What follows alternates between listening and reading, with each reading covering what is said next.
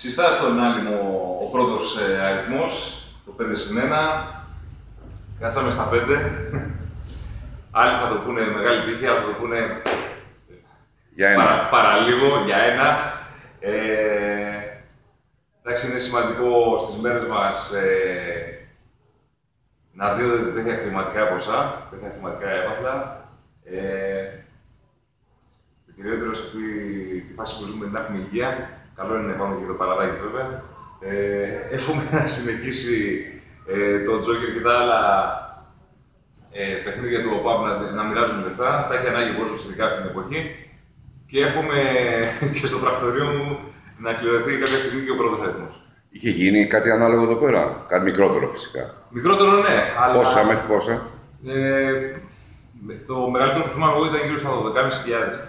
Ε, αυτό το 86.000 ευρώ που πληρώθηκαν τώρα με το Τζόκερ ήταν, ε, είναι το ρεκόρ μας. Ελπίζω, τα ρεκόρ είναι για να σπάνε όμως.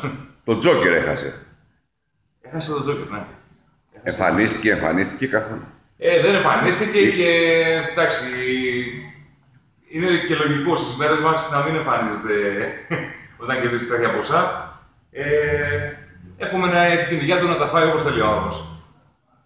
Οκ, καλή τύχη. Να είστε καλά.